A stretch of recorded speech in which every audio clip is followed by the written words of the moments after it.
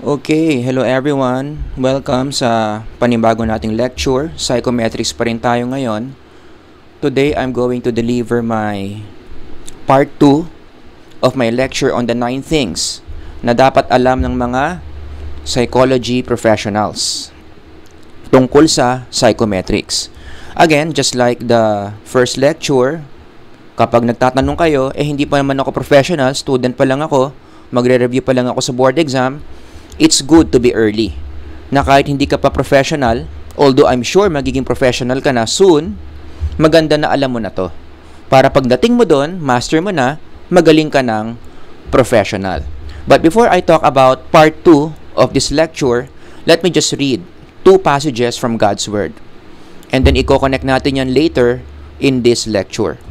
In the beginning was the Word, and the Word was with God, and the Word was God. He was in the beginning with God. All things were made through Him, and without Him was not anything made that was made. In Him was life, and the life was the light of men. John 1, 1 to 2 yon. And then another one from Colossians 1.16, For by Him all things were created in heaven and on earth, visible and invisible, whether thrones or dominions or rulers or authorities, all things were created through Him and for Him. So, those two passages, malaki ang kinalaman sa lecture natin for today. Mamaya, i-connect natin. I have two goals for this lecture. Tulad ng nauna kong lecture dito, number one is to summarize all the important lessons in psychometrics. In fact, in my undergraduate classes, when I deliver this towards the end of the term, para ma-review namin yung mga major concepts on psychometrics. And number two, I created this lecture para na rin makatulong sa pagre-review ng mga naghahanda for the board exam. So along the way, I'm gonna ask certain questions. You can pause the video and you try to answer those questions. And then i-play nyo ulit. Tignan nyo if we have the same answer. Okay? Let's now move on to number 6 kasi yung first part natin from numbers 1 to 5. Number 6, remember, psychological tests are valuable. Sa Tagalog, merong halaga ang mga psychological tests. Saan galing ang halaga ng mga psychological tests? Una, sa psychometric properties. Mas maganda ang reliability at validity ng isang test, mas nagiging mahal ang isang test. That's the reason why there are many tests that are very expensive. Stanford Binet, many projective techniques or projective tests, mga um, Wechsler Intelligence Scale, kaya mahal ang mga yan, mataas ang price, maganda kasi yung mga psychometric properties. But other than this, yung halaga ng test, excuse me, nanggagaling din yan sa proseso ng paggawa ng test. So the very process in which the test authors created the test, doon nanggagaling yung halaga. Mahirap kasi gumawa ng psychological test. And for, and for my students listening who underwent psychological uh, test development, I'm sure you can relate kung gaano kahirap gumawa ng isang psychological test. Dugo at pawis at oras ang pinuhunan ninyo para makadevelop kayo ng isang matinong psychological test. So when you add those factors up, the psychometric property of the test, the process to which you created the test, talagang merong halaga ang lahat ng standardized psychological test. Therefore, given this, ano ang dapat response natin dyan? Number one, gamitin natin ng tama ang psychological test. 'Di ba? Ang hirap-hirap gawin, ang mahal-mahal ng mga psychological test, the least we could do, we use it the way it is intended to be used. And what is the intended way? Na dapat ginagamit natin ang psychological test to help someone's life to become better. Huwag natin baliktarin. Huwag natin gamitin ang mga psychological test para manira ng buhay. Rather, we use tests the way it is supposed to be used. Let's help people how to have a better psychological life. Next, ipagamit natin sa mga tao na may competence na gamitin yung mga test. Huwag natin to ibigay sa mga tao na alam nating walang competence or gagamitin lang sa mali. That's another way to respect the value of psychological tests. Next, ingatan nating masira If you buy psychological test, dapat meron kayong proper storage. Hindi yung pakalat-kalat lang sa kwarto ninyo. yung manual na sa kama, yung answer sheet nandoon sa sahig na ihiyan na ng aso mo. Dapat we treat this test with care because it comes with value. Sa mga gamit nating mga mahal, ingat na ingat tayo, 'di ba? Dapat may case, dapat may protector, dapat laging nakakabinet, may tamang lalagyan. The same thing with psychological test. Maganda dapat ang handling. And of course, wag natin kakalimutan, wag nating peratahin yung test. Kapag wala ka ng answer sheet, huwag mo ipa-photocopy yung existing answer sheet mo. You are violating the ethical principle of copyright. Remember, this is intellectual property. Nung binili mo yung test, it doesn't mean na sa'yo na yung test. It's just that you bought the right na meron kang kopya nung test but still, the ownership of the test in its intellectual form, hindi pa sa'yo yan. Therefore, kapag nag-photocopy ka nung test, pinipirata mo yung test, ninanakawan mo na rin yung test developers. And remember, ang test developers, nag-undergo sila ng kahirap-hirap na proseso para lang magawa yung test. Tapos kokopyahin mo lang, pipiratahin mo lang. Let's give due, let's give value to the people who are supposed to be receiving the value who are the test authors, the test publishers. Eh, yun nga lang ang mahirap. Common problem to sa Philippine psychological testing dahil may mga organizations walang budget, they don't buy new answer sheet. Ang ginagawa na lang is uutusan yung mga intern sa HR ipapa-photocopy yung answer sheet para lang ma ma-meet yung demands sa recruitment. So sana wag ganon, no? So these are the things that we should be doing given that all psychological tests have value. Okay? Number seven. Remember that the quality of your tools matter for accurate assessment. Para tayo mga surgeons, paano magiging successful ang isang surgery, ang isang mahalagang factor dyan, maayos ang mga materials na ginagamit. Dapat well sterilized, dapat matatalas. 'Di ba? Ang hirap naman gumamit ng mga surgical tools na mapurol. 'Di ba? Kahit anong hiwa mo doon sa laman, hindi mahiwa, pinipilit mo na lang, hindi magiging maganda yung outcome ng surgery. Baka ikamatay ng patient. So what a good surgeon must do is before the surgery, he or she ensures na maayos yung mga gagamitin niyang surgical tools. The same thing with psychological tests. After all, we don't just go inside a person's body, we go inside a person's mind. Mine-measure natin yung psyche. The more we should be careful, the more we should increase our standard na maayos yung mga psychological test na ginagamit natin.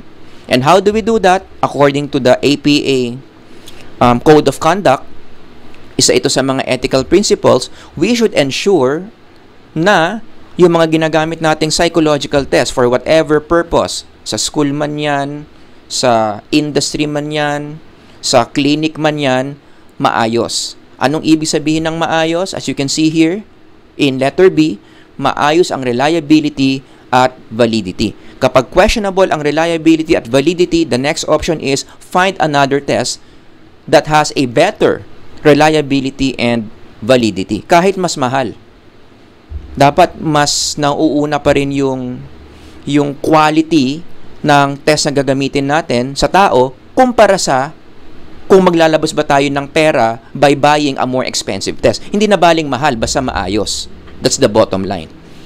Parte yan ng ethical principles na dapat nating sinusunod as future psychology professionals. But let's not forget, no, other than reliability and validity, ang isa pang ingredient na dapat meron ang test natin para masabi nating maayos yan, updated dapat ang norm. Maayos reliability, maayos validity, dapat updated yung norm. Yung norm na ginagamit mo, for those of you who were my students, dapat within 3 to 5 years since the time the norm was developed. Yan. So, ito dapat yung tatlo na inaayos natin. Yung test na gagamitin mo, good reliability, good validity, updated norm, when you ensure na itong tatlong to, meron ang test mo, tumataas yung chance that your test will give you true positive and true negative results. Which means, sa simpleng Tagalog, tama ang resulta na binibigay ng test. Remember in my previous lecture, ang ayaw natin yung false positive and false negative. Ito yung mga times na ang mga test mo pumapalpak. Sabi mo matalino. Sabi nung test matalino, hindi naman pala matalino. Sabi nung test, hindi matalino, matalino naman pala. Yun yung false positive and false negative. Ayaw natin yon. We want our test to perform in these two categories. Binibigyan tayo ng true positive results at true negative results. But among these three elements, I want to emphasize in this part of the lecture yung role ng updated norm. You may pause the video if you like. Ano ang role? Ano ang reason? Bakit kailangan updated yung norm? Ang tamang sagot dyan, panoorin nyo doon sa lecture ko on the norms in psychometrics. Pero ulitin ko lang ko na lang din ng mabilis. Bakit mahalaga na dapat ang norm mo updated? Kasi lalong-lalo na when we are measuring intelligence as time goes by, different psychological attributes including intelligence nag-iiba yan ng standard. Like in the case of intelligence, meron tayong tinatawag na Flynn effect. Flynn effect is a phenomenon where when you gather IQ test results through the years, ulit-ulitin mo, ilongitudinal mo across different nations, ang pattern, ang tao, patalino ng patalino. Pataas ang pataas ang IQ points.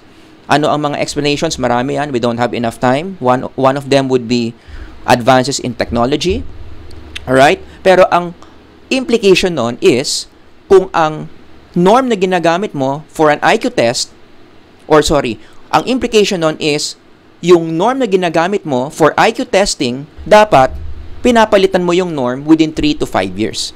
I think I already demonstrated this in my previous lectures, pero ulitin ko ng mabilis dito. Imagine we have two norms here.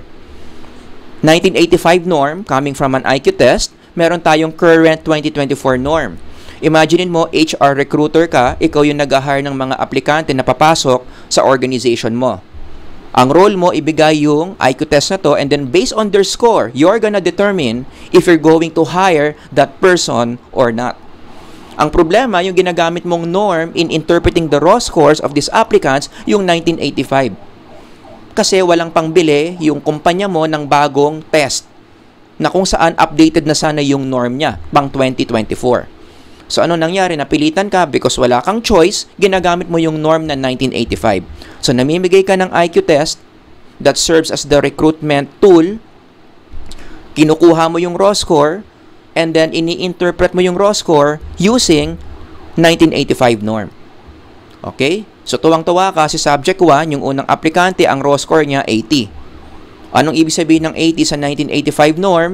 Superior, henyo, aba. So anong decision mo? Kunin natin to. Magaling to. Henyo ito. Makikinabang ang kumpanya natin dito. Pero, ulitin ko, you use the 1985 norm. Kung ginamit mo ang tamang norm, which is 2024 norm, ano ang equivalent ng 80 low average na yan? So ano nangyari? Kung baga parang naisahan ka nung test. Sabi nung test, matalino to, yun pala, hindi. At ano ang dahilan? Ba't nangyari yon? Mali kasi yung norm na ginagamit mo, hindi updated. The same thing with subject 2 or applicant 2. Binigyan mo siya ng test, kinumpit mo yung raw score niya, ang raw score niya is 75 tuwang-tuwa ka, tinignan mo, nasa yung 75, doon sa norm na ginagamit mo na outdated, nasaan ang 75, superior ang tawag dyan, henyo na naman. Tuwang-tuwa ka na naman. Swerte ng araw mo. Nakadalawang henyo ka today na hinar mo. Pero sa totoo lang, kung gagamitin mo yung tamang norm, which is 2024, ang 75, ano yan? Failing grade yan. Hindi na updated yung norm mo. Mas mataas na ang bar ng intelligence ngayon. So ano nangyari? Nag-hire ka na naman ng pangalawang incompetent na tao. And now you're wondering why your company is falling apart. So pag tinanong ka sa meeting, akala ko ba ang hinahire mo yung mga magagaling, eh bakit nagkakaloko-loko yung kumpanya natin? Anong sasabihin mo? 'Di ba? Ipagmamalaki mo pa 'to. Ay boss, hindi ako yung may kasalanan. Kasi yung mga hinahire ko naman, eh mga henyo. Anong mali dun sa sagot mo? Totoo. Ang hinahire mo, mga henyo, base sa 1985 standard na dapat ang ginagamit mo yung 2024 standard. Sana sa una pa lang nalaman mo na na yung mga hinire mo hindi competent if only you were using the correct norm which is 2024. Nagigets ninyo? So yun ang kahalagahan kung bakit dapat pag gumagamit tayo ng norm, updated. Para nagiging tama, no? Nagiging tama yung yung interpretation natin sa raw score. Kasi going back to my example, yung nangyari dito, 2024 na, gumagamit ka ng 1985 norm, ano nangyari? Binibigyan ka ng test mo ng mga false positive results. Anong ibig sabihin ng false positive? Hindi totoong matalino yung mga kinukuha mo. Sabi ng test mo, matatalino sila. Yun naman pala, hindi. Bakit? Yung norm na ginamit mo, outdated. Sobrang layo na. Does that make sense? So make sure that your norm is updated. Isa yan sa mga key ingredients para masabi mong maganda yung test na ginagamit mo. Number 8, culture must not be ignored in psychometrics. All throughout the term, paulit-ulit ko tong tinuro sa mga students ko na dapat hindi mo ihihiwala yung issue ng kultura sa paggamit ng standardized psychological test. In fact, kaya nga tayo may cultural psychology na field if I'm going to summarize this field in psychology, isa lang naman ang sinasabi niyan. The point is, people see the world in different ways.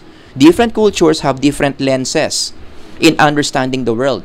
Iba-iba sila ng idea ng ganda, ng kagandahan. Iba-iba sila ng idea about politics. Iba-iba sila ng preferences about food. Culture, yung source ng mga different ways na yon. Now, you zoom it in, i-connect mo yan sa psychological testing. If there is cultural differences among people, then anong implication noon sa psychometrics? Kailangan natin mag-develop ng local test, local norms. In, in some situations, we need to translate certain tests para mas maintindihan ng mga locals yung items na ibinibigay mo sa kanila Minsan, kinakailangan mo mag-undergo ng test adaptation just for the local people to relate with the test. But I want to emphasize on number 5, you need to make sure whenever you administer a test to someone na yung test na ina-administer mo is culture fair. Anong ibig sabihin ng culture fair test? You can pause the video.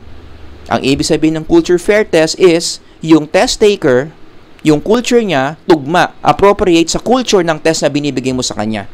So when the test taker takes this test, nakaka-relate siya sa mga items. Nasasagutan niya ng tama, nasasagutan niya ng appropriate yung test na binigay mo sa kanya kasi nga pareho ng kultura yung test at yung kumukuha ng test. It's a very important ingredient of a psychological test na dapat ini-ensure natin when we administer such tests to test takers. Let me demonstrate kung ano ang kahalagahan ng culture fair test at ano ang danger kapag yung test na ina-administer mo hindi culture fair. It leads to wrong assessments. Like for example, diniscuss ko to sa Filipino psychology classes ko, no? Um, merong pag-aaral na ginawa where the psychologists were discussing ano ang differences ng well-being across different nations. Ang simpleng Tagalog lang ng subjective well-being is kaligayahan or happiness in English. So gusto nilang i-measure kung sino ba yung mga pinakamasaya at pinaka hindi masaya na mga countries um, all over the globe. Now, to make the long story short, if you just read this article, download nyo, basahin ninyo, ang common na nakikita nila in these studies is mukhang mababa ang level of satisfaction ng mga Asians compared to the Western nations. That's the pattern mababa ang well-being scores ng mga non-Western societies compared to Western societies. Now, ano ang easiest way to interpret this? Bakit? Ito yung wrong way on how to see this, 'di ba? Ang dali-daling sabihin na, "Oh, it makes sense." 'Di ba? Sabihin mo ganyan, it makes sense. Kaya kaya pala mababa ang happiness o ang satisfaction ng mga Asians kasi sa mga sa mga non-western countries such as in Asia, ang daming mga deprivations dito. Mataas ang presyo ng mga bilihin, hindi stable yung economy, marami mga gulo sa politics compared to non-western nations, mga first world countries. Doon kasi malalaki ang value ng pera, life is comfortable, okay ang social security nila, sinasagot ng government nila yung health insurance nila. So it makes a lot of sense. Tama 'yan talagang malulungkot talaga ang mga Asians compared to the Westerners. Although, at first glance, it makes sense, pero kung ipapasok mo yung issue ng kultura, especially in psychometrics, malalaman ninyo that this is a very wrong way a very lazy way of seeing this. So ano ang issue ng kultura dito in connection to testing? Ang magalaking tanong dito, anong instrument ba ang ginagamit sa mga studies na to to measure subjective well-being? And to answer that question, in most of the studies, ang ginagamit na instrument dito is Western developed. Ang isa sa mga pinakasikat dyan is Satisfaction with Life Scale, also known as SWLS. Isa ito sa mga common na instrument na ginagamit in happiness researches like this. So itong mga items na to na dinevelop sa West are the same items that are being given to Asian participants. At ito ang mga items. Saktong mga items no na binibigay sa mga non-western people. In most ways, my life is close to my ideal. The conditions of my life are excellent. I am satisfied with my life. So far, I have gotten the important things I want in life. If I could live my life over, I would change almost nothing. And then, sasagutan nila yan using the Likert format, higher scores mean mas happy ka sa buhay mo. O, ang problema ngayon dito, these are the very items that are being administered to non-Western people. In other words, to use the term culture fair, itong items na to, hindi siya culture fair para sa mga non-Western people, lalong-lalo na sa Asia. Bakit? Bakit ngayon naging issue yan? If you read another article, which is this one, I highly recommend, download nyo, basahin ninyo. Ano ang conclusion ng article dito? Ang source of satisfaction or happiness ng mga Asians, ibang-iba sa mga Westerners. You see the problem? eh, ang instrument na ginamit mo dito, Western developed. So, ibig sabihin, yung standards of happiness na nire-reflect ng items dito, standard yon ng happiness ng mga Westerners, hindi ng Asians. Eh, iba nga yung standard ng Asians eh. The standard of Asian countries in connection in connection to life satisfaction is very less self-specific. Wala masyadong role ang self Most Asian countries are highly collectivistic countries, therefore, how do they define life satisfaction? They are happy with their life when they sense na nakakapag-share sila sa ibang tao. When they sense na nakakatulong sila sa pagganda ng buhay ng ibang tao, other-centeredness. Kaya for example, in Buddhism, yung mga quotable quotes ng Buddhism reflects that idea. Happiness never decreases by being shared. Happiness comes when you work and words are to benefit or of benefit to others, other-centered. Yan ang source ng kasiyahan ng collectivistic people like us. In the context of the Philippines, ang naalala ko dito, yung mga OFWs.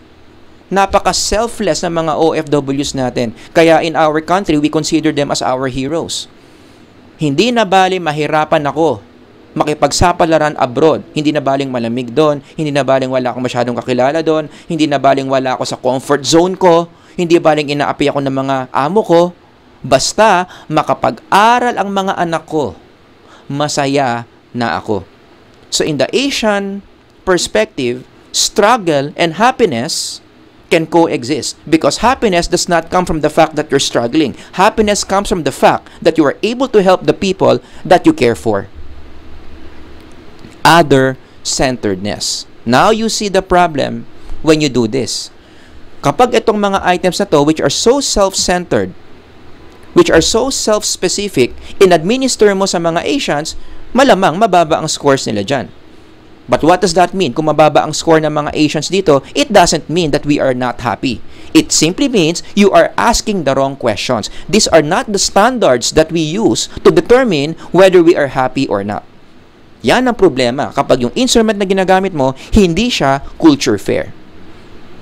And as I keep on mentioning, if you keep on using instruments na hindi culture fair, hindi tugma yung kultura ng test mo sa kultura ng test taker, tumataas na naman yung chance na yung makukuha mong resulta nandoon na naman sa dalawang quadrants na yan. False negative, false positive, yung test na ginagamit mo, palpak ang results. Got that? And we don't like that because it will ruin our assessment. Remember, ang endpoint natin dito, assessment. Magdi-describe tayo ng psychological condition ng tao. O, ay mataas yung chance na yung magiging description mo ng psychological condition ng tao, mali. Kasi nga, yung test na ginamit mo, hindi siya yung tamang test given the cultural background of the test taker. Kaya isa, isa yan sa mga crucial na dapat tinatanong mo sa test mo before you administer it to a person, culture fair ba yung test mo given the cultural background of the person. Unfortunately, in the Philippines, isa na namang problema yan. Marami pa rin, pa rin tayong mga tests that are, that are developed in the West. Pero pinipilit pa rin natin na gamitin yung mga yon sa mga Pilipino. 'Di ba? Yung test dinevelop sa Kentucky, dinevelop sa Alabama. Yung test na kumukuha nakatira sa Tondo, Manila. O 'di ba? Ang laki ng cultural difference nun. Kaya ang isa sa mga battle cries talaga ng psikolohiyang Pilipino, if I may just connect this, no, is kinakailangan talaga mag-develop pa tayo ng mga test na talagang galing sa atin. Ginawa ng mga Pilipino para sa mga Pilipino. Yon. So sana in the future, if you have become professionals or if you have extra time, gumawa tayo ng mga efforts para mapunuan yung pagkukulang na yan. Kulang na kulang talaga tayo sa mga local tests. And finally, last one, number 9, I'm going to close here. Psychometrics measures the expression of the psyche. Now, this will take you back to the very first lesson of this series, ano bang ibig sabihin ng psychometrics in the first place? Again, you can pause the video and you define it on your own. Psychometrics is a compound word. Ibig sabihin isang word na binubuo ng two words, psycho and metrics. Anong ibig sabihin ng psycho? This is the non-physical aspect of the person that we try to measure in this field. Kasi yung word na metrics, ibig sabihin measurement of. So pag kinumbine mo yan, psychometrics, this is the field where we try to measure the expressions of the psyche, which are, again, non-physical. Because in the first place, psyche, yung root word ng psycho, is non-physical. Another word for the word spirit. Panoorin nyo yan sa mga previous lectures ko or basahin nyo sa mga Gen Psych textbook. Ang origin ng word ng psyche o ng, ng word na psycho is psyche, which in its original term, spirit, non-physical. Kaya given this, bakit ko ba na-emphasize to? A gentle reminder to everyone, lalo na yung mga nag-aaral ng psychology dyan, the brain is not the same as the psyche. Common misconception yan sa mga psych majors. When the society discovers that you are a psych major, ano ang unang comment? Sa tingin mo, may sira ba utak ko?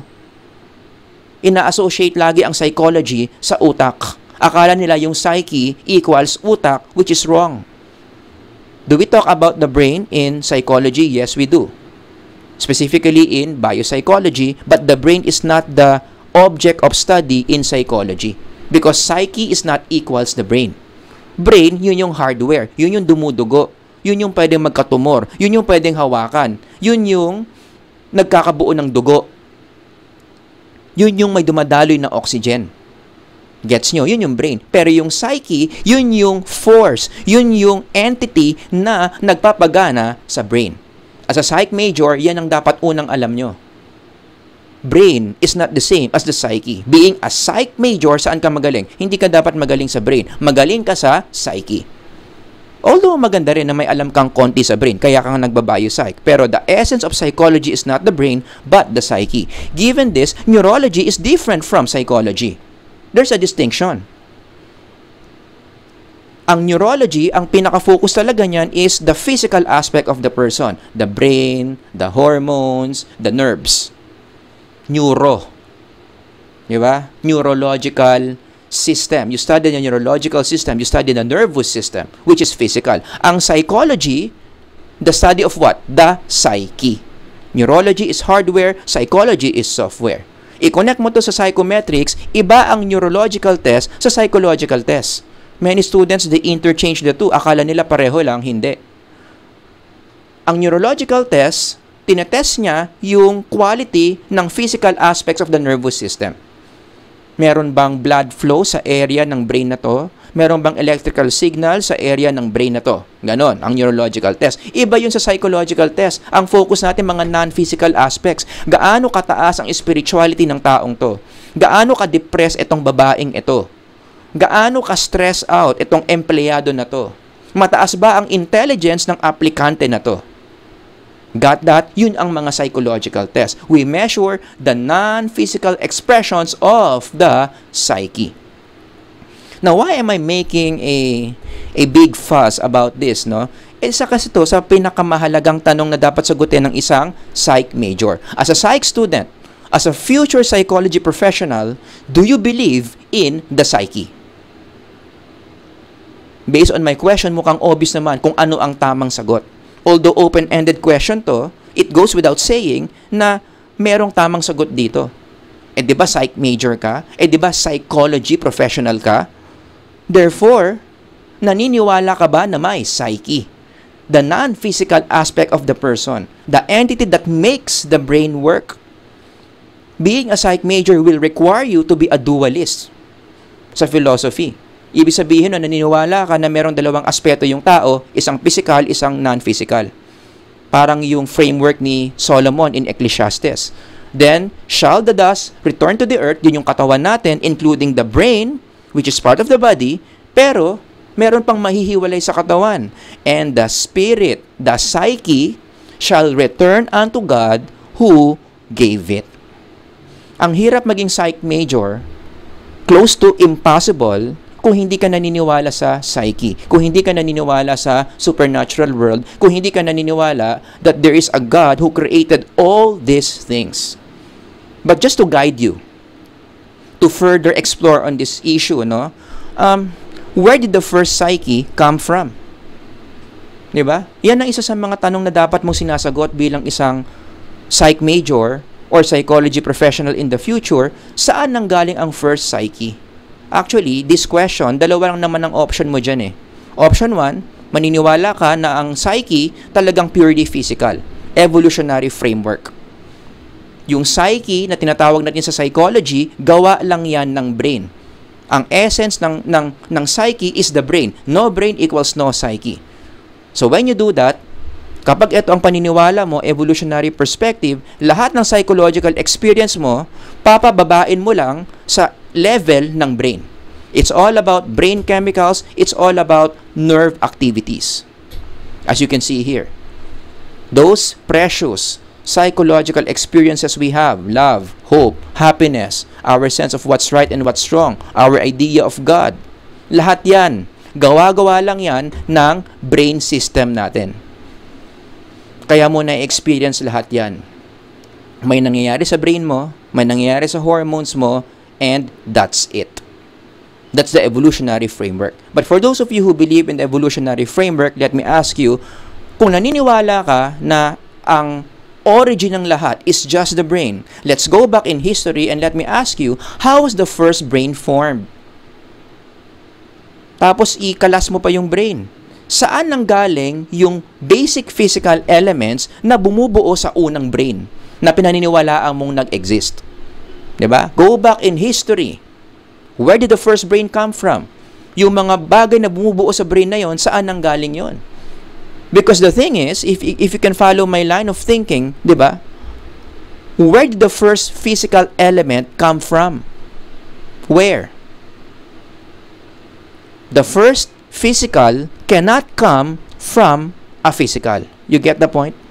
You go back in time, yung pinakaunang physical, kung ano man yon, na nagbigay daan para mabuo yung brain, saan nang galing yung unang physical ingredient na yon? Imposibleng yung physical na yon nang galing pa sa isang physical kasi tatanungin ko na naman, yung unang physical na yon saan na naman nang galing yon? Ang tawag dyan sa philosophy, infinite regress. The first origin of the physical cannot be explained by a physical origin. Nagigets nyo? Pero, ako, given the question, where did the first psyche come from, at hindi ko to kinakahiya, talagang pipiliin ko yung option 2. I am ascribing to the supernatural model of the psyche. Dito baliktad. Ang brain ang ginawa ng psyche. The spiritual leading to the physical. It makes more sense. Ako naniniwala ako sa Genesis 1.1. Then the Lord God formed man from the dust of the ground and breathed the breath of life into his nostrils and the man became a living being. Ginawa mo na yung brain nung, ng, ng psyche, who is God, And then, gumawa ang Diyos ng psyche at yung psyche na yon, the first psyche, pumasok doon sa katawan. And that psyche is, is what makes the brain and the entire body work. That's the supernatural model of the psyche. It is the first psyche who is God who created the physical brain. Kaya ako binasa yung John 1, 1 to 2. Di ba? Unang psyche, yung logos. Yung logos, sino yon? Who is God Himself. Because God is spirit. God is non-physical. So the all-powerful, all-good, non-physical God created the first physical. All things were made through Him, and without Him was not anything made that was made. And under verse 3, that includes the brain. Yung all things dyan, kasama dyan, yung brain. Got that? So the non-physical God created the physical brain. And then he creates the first psyche that enters, that, that made functional the physical brain. I think this model of the psyche makes more sense compared to the evolutionary model. Now, you may be asking me, no, why does this even matter? Hindi ba pang philosophy na tong issue na to? Let me tell you, this is one of the most important question na dapat ma-resolve mo even before you graduate. Even before you get a degree in psychology. Even before you become a psychology professional, dapat mamimili ka talaga dito. Hindi mo to pwedeng ipagpaliban. Hindi pwedeng i-delay. It's either you choose option 1 or option 2. Why? Because it will affect how you treat people. Which will be our everyday activity when you become a psychology professional. Right? You will treat different people. And the way you treat different people will depend whether how whether you look at the psyche as option 1 or look at the psyche as option 2. Ang laki ng difference niyan. For example, kung naniniwala ka sa evolutionary model of the psyche, paano ang treatment mo sa tao? Bibigyan kayo ng clue ng world-famous atheist na si Richard Dawkins. This is the way he sees life. You read his words. And then, i-connect mo yan kung paano mo itatrato yung mga kliyente mo if you see the world this way. Sabi ni Richard Dawkins, nature is not cruel, only pitilessly indifferent. This is one of the hardest lessons for human to learn. We cannot admit that things might be neither good nor evil, neither cruel nor kind, but simply callous indifferent to all suffering, lacking all purpose. Walang purpose sa mundo. You are just one of the biological organisms. When you die, that's it. Accept it. Kaya kapag ganyan ang pananaw mo sa mundo, i-connect mo yan sa tao, there's nothing special about human beings. Hindi ka psyche. You are just a brain with biological problem leading to psychological issues. Ganun ang pananaw mo if you see human beings that way. Yung mga psychological problems ng tao, ang origin niyan, biological causes. Therefore, kung ang psychological problems ng tao galing sa biological causes, ano solution mo? Biological din. Kaya kapag nakakita ka ng taong depressed, nakakita ka ng taong anxious at ganito ang framework mo, anong gagawin mo? biological solutions. Bigyan mo na lang ng gamot. Turukan mo na lang ang antidepressant and then that's it. Balik ka next month, pag depressed ka, turukan ulit kita. That's all about it. It's all about the biology. Don't get me wrong. Kung sa tingin mo, ganyan ang way, ganyan ang tamang way sa pagtrato ng tao, then be my guest. But ako, personally, I find this a very shallow way of treating human beings. I still believe that there is a big difference between a human being and animals. Although may mga overlaps, but human beings are way, way, way more special, more distinct compared to animals. Sa tingin ko, mas okay yung framework ni Pope Francis. Di ba? Ito kasi, human beings are just biological accidents. Pero kapag ang pinili mo is option 2, the supernatural worldview, the God worldview, it makes sense kung ano sinasabi ni Pope Francis. Mag-iiba na naman yung treatment mo sa clients mo. He says, even the weakest and the most vulnerable, the sick, the old, the unborn, and the poor are the masterpieces of God's creation, made in His own image, destined to live forever, and deserving of what the utmost reverence and respect. Kung ganyan ang framework mo sa tao, i-connect mo yan kung paano mo sila itatrato when they when they present their problems. Pag ganyan ang framework mo, ano ngayon ang understanding mo? The psychological problems that they have requires psychological solutions. Kasi karamihan ng mga psychological problems galing sa psychological origins. Therefore, ano ang mga solution na ituturo mo sa tao para mabawasan yung mga psychological problems niya? Psychological solutions. Eh yun ka, 'di ba? Ang tawag mo psych major ka, psychology professional ka. Therefore, kung psychology professional ka, yung solutions na dapat binibigay mo psychological, hindi biological. Does that make sense? Psychological solutions like what? Grace. Like what? Forgiveness. And most importantly, ako naniniwala, and you can quote me on this, and I will not be ashamed of this, sa tingin ko, ang pinaka-need talaga ng tao towards better mental health is salvation. Is spiritual salvation. But then again, kung naniniwala ka sa evolutionary model, these things will not make sense. You will even consider this foolishness. Tataas ang kilay mo, kikilabutan ka. But between the two, evolutionary model, supernatural slash biblical model, this, for me, makes more sense. A lot of psychological issues we have right now. Ang origin talaga, psychological, pro- spiritual problems such as sin, and how do you deal with sin? These are the words that deal with sin. All right? And at the end of the day, let me just throw this to you, no? As I end this lecture, kung maniniwala ka sa sinasabi ni Dawkins, the world famous atheist, that life has no meaning. I-connect mo lang yan sa field natin as, you know, sa psychology. Ang daming implications niyan. If we are just the product of a random physical event somewhere in the universe, we are just biological organisms, nothing special about us, ano bang implication yan? If life has no meaning then, there is no psyche. Bakit? Because it is the psyche that creates meaning.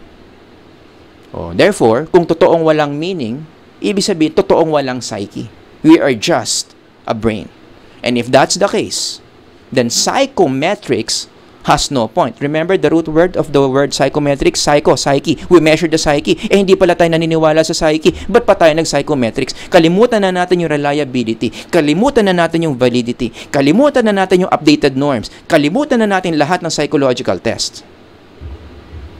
Siyempre, ayaw nyo yun. Tapos ang tawag nyo sa sarili nyo, psychometrician. So psychometrics has no point. And most importantly, number three, if life has no meaning, if atheism is correct, ano ang implication niyan? Psychology is a joke. Wala naman palang psyche eh. Ba't pa tayo gumawa ng field na psychology na ang pinag-aaralan, psyche? You see the implication? At anong implication yan if psychology is a joke? In the professional level, paano yung mga nag-oath taking sa psychologists at psychometricians? I hate to say this, pero if this is true, then are we saying that during this day, anong nangyayari? Nag-oath taking ang mga jokers. Kasi wala palang psyche. Pero nag-oath taking tong mga to, magdidil daw sila with the psyche. Are you joking with me? Yan yung implication. So again, at the end of the day, which one makes more sense to believe given the fact that you are a psychology student, future psychology professional. Pero ako, hindi ko talaga may iwasan na maging bias dito and I am not ashamed of my bias. Buti na lang, ang totoo between the two is option 2. It is the psyche that created the first brain. In his loving kindness, he created the first psyche that entered the body for us to have a relationship with Him. Option 2 is more plausible than option 1. For by Him, all things were created in heaven and on earth, visible and invisible, whether thrones or dominions or rulers or authorities. Wherever you are, read with me, all things were created through Him and for Him.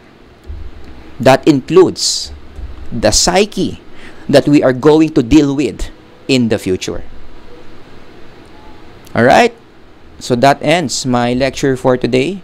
Kung meron kayong mga tanong, meron kayong mga comments, ilagay nyo lang dyan sa comment section. Sana nakatulong tong video na to in helping you prepare for the board exams or to simply review about concepts in psychometrics. Sir Howard here. Until next time, God bless everyone. I'll see you around. Bye-bye.